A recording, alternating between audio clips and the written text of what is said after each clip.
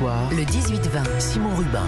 L'invité d'Europe Soir est journaliste italien et avec lui on va parler de ce que tout récemment le Financial Times a appelé une sorte de miracle italien. L'Italie, souvenez-vous, premier pays d'Europe touché par le Covid, pays qui connaît de nombreuses agitations politiques depuis la fin de l'ère Berlusconi pays parfois raillé par le nord de l'Europe pour son indiscipline, son incapacité à organiser son économie, eh bien cette Italie-là est en train de changer. Redressement économique, campagne de vaccination qui décolle, sans parler des victoires à l'Euro de football et à l'Eurovision. L'Italie se relèverait-elle? On en parle avec vous, Paolo Levi. Bonsoir. Bonsoir à vous. Vous êtes journaliste et correspondant à Paris de l'agence de presse italienne ANSA. Alors j'aimerais d'abord, Paolo Levi, que vous nous parliez de, de l'Italie de ces dernières années qui a connu beaucoup de changements politiques, qui n'est pas passé loin euh, de crises même institutionnelles. Oui, absolument, et notamment avec la France, parce que vous n'êtes pas sans savoir que euh, dans, pendant les années, il y a 3-4 ans, euh, 2015-2016, quand ici au pouvoir, il y avait eu cette coalition très hétéroclite et bizarre qui voyait euh, l'union entre l'extrême droite de Matteo Salvini, le meilleur pote de Marine Le Pen en Italie, et le mouvement 5 étoiles, qui pourra simplifier, pourrait être un petit peu euh, les gilets jaunes qui se présentent aux élections et gagner. Voilà, plus ou moins, il y avait cette alliance entre Gilets jaunes et Marine Le Pen. Ça a été des années très très sombres, très très sombres, surtout dans les rapports avec la France, parce que notamment Salvini s'amusait à attaquer euh, quasiment chaque jour la France d'Emmanuel Macron, et on a eu le rappel de l'ambassadeur euh, français en Italie, à Paris, pour la première fois. Ça a été un geste vraiment à faire venir froid au dos parce que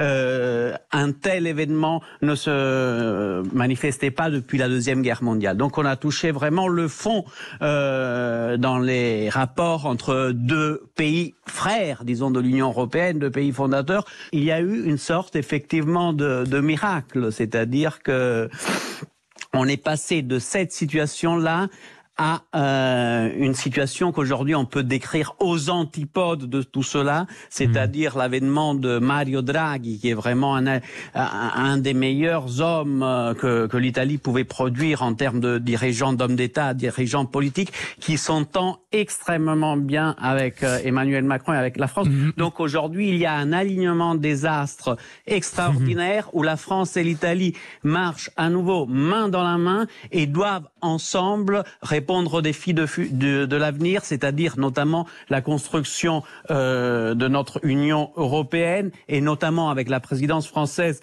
de l'Union qui va débuter en janvier 2022, donc l'année prochaine. Il y a un chantier énorme à faire, c'est la réforme du pacte de stabilité, les fameux 3% qui très très longtemps ont freiné nos économies respectives. Et aujourd'hui, la, la, promesse et le pari de l'Italie et de la France est de construire ensemble une Europe plus axée sur la croissance et même sur le social et l'attention à l'humain, aux et personnes. Mario Draghi que vous venez de citer, on va quand même s'arrêter sur cet homme, alors qu'on connaît même beaucoup en France parce qu'il a été, il faut le rappeler, euh, le président de la BCE, de la Banque Centrale Européenne il y a quelques années c'est là-bas, euh, en, sauvant l'euro pendant la crise, qu'il a notamment euh, acquis ce surnom de Super Mario. Qui est cet homme, Mario Draghi? Écoutez, moi je fais souvent la, la comparaison avec euh, Marcel Proust euh, dans le sens qu'en littérature, seulement la France, seulement une ville comme Paris, un peu plus froide, pouvait euh, produire euh, un écrivain comme Marcel Proust, qui est le l'homme qui peut être l'intellectuel qui plus que n'importe qui d'autre euh, dans l'histoire de la littérature mondiale a disséqué les, le, les sentiments humains. Et donc souvent, euh, on, on, on, rejoint des, des sommets dans, dans les domaines où on est, dans les endroits où on est le, les plus faibles. Donc, Draghi, c'est l'opposé, disons, du cliché de l'italien. C'est-à-dire que c'est, il est hyper rigoureux, c'est, et il a quelque part euh, contribué euh, au moment le plus noir de notre euh, crise, de la crise euh, de l'euro, il a contribué à, à, sauver notre monnaie commune parce que avec trois mots, c'est-à-dire euh, whatever, quand il a prononcé ces trois mots, euh, whatever it takes, coûte ce que coûte, je vais, on va sauver l'euro. Ces mots ont suffi pour euh, freiner, disons, les spéculateurs internationaux qui, qui rêvaient de faire tomber notre monnaie unique. Donc, il y a vraiment un avant et un après Mario Draghi en Europe, et c'est à partir de ce moment-là peut-être que cette ligne un peu plus euh, allemande, disons, cette vision un peu plus allemande et anglo-saxonne de l'Europe euh, très libérale a commencé à basculer. Et aujourd'hui, voilà, ce message-là qui s'était perdu, euh, notamment avec l'entrée de la Grande-Bretagne, qui avait un petit peu dilué cette vocation, revient en force. Et aujourd'hui, peut-être pas à 27, mais certainement euh, en, euh, avec la France, l'Italie, l'Espagne, euh, l'Allemagne, bien sûr, on va construire quelque chose de différent. Parce que nous, on n'est pas les États-Unis, on est mmh. l'Europe. Et l'Europe, elle a l'État social dans son ADN, et on y avait un petit peu renoncé. Aujourd'hui, avec cet extraordinaire alignement des astres, la sortie de la Grande-Bretagne d'un côté, le Brexit donc, euh, Mario Draghi, Emmanuel Macron, euh, l'Allemagne qui a changé, ça aussi c'est incroyable, elle a changé complètement de paradigme.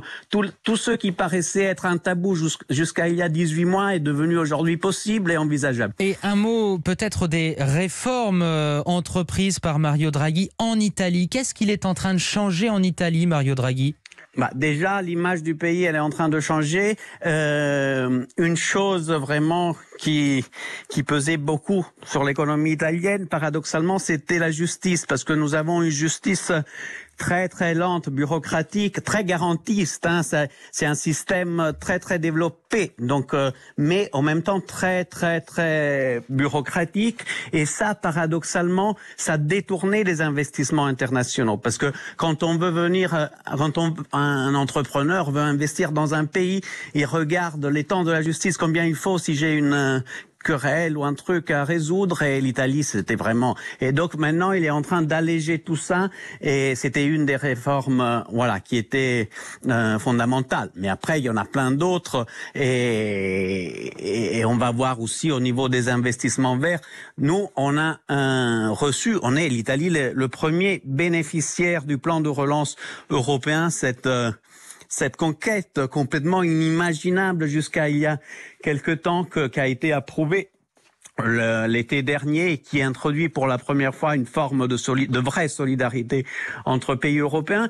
Euh, L'Italie est le premier bénéficiaire hmm. et donc euh, Mario Draghi est aujourd'hui là où il est, c'est-à-dire au Madin de l'Italie, aussi pour faire en sorte de dépenser cet argent de la façon la plus raisonnable possible et ne pas gaspiller cet argent parce que cet argent, comme vous l'avez dit, va permettre certainement un nouveau miracle italien et je dirais même un miracle européen parce que on est aujourd'hui à l'aube de, de nouvelles trente glorieuses européennes. Ça, c'est sûr et certain.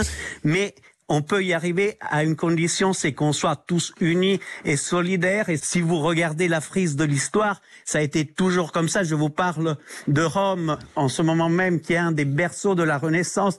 Après chaque Moyen Âge dans l'histoire, il y a des, des, renaissances. Et je suis sûr qu'on est à l'aube d'une nouvelle Renaissance européenne. À l'aube d'une nouvelle Renaissance européenne et qui passera par cette Italie qui se relève. C'est avec euh, plaisir que nous vous avons accueilli euh, ce soir. Paolo Levi, je rappelle, euh, journaliste et correspondant à Paris de l'agence de presse italienne ANSA. Merci à vous et bonne soirée. Bonne soirée, au revoir.